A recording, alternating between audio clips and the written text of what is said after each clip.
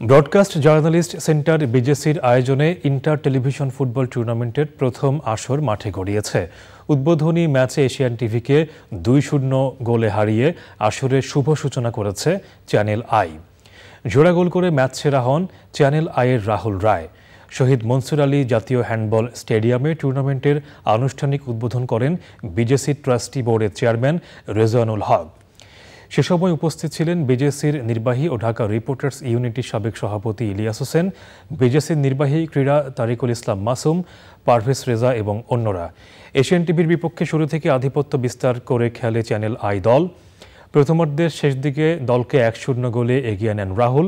দ্বিতীয়ার্ধে পেনাল্টি থেকে নিজের এবং দলের পক্ষে দ্বিতীয় গোল করে ম্যাচ সেরা হন তিনি। অনুষ্ঠানে সম্মাননা স্মারক তুলে দেওয়া হয় টুর্নামেন্টের একমাত্র পৃষ্ঠপোষক ম্যাক্স গ্রুপকে।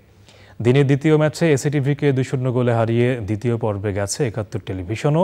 শুক্রবার দ্বিতীয় ম্যাচে মুখোমুখি হবে চ্যানেল আই এবং একাত্তর টেলিভিশন।